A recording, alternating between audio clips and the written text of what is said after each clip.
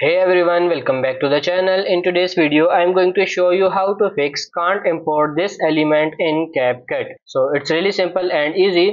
For this, first of all, you just have to make sure that you are using the latest version of CapCut application. If there is any update, just make sure to update it. So after updating, just open the CapCut application here. Now you will find this kind of interface. You can see the settings in the top right corner of your screen. Click on this gear icon and you will find this clear cache option here. Just simply tap on it and then simply tap on this confirm. As you can see cache is cleared. You can also go to your mobile settings. Then if you scroll down tap on this apps tap on this see all apps and you can tap on this CapCut.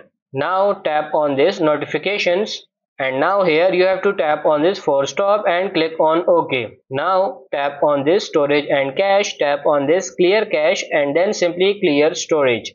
After that open the CapCut application and your problem will be solved.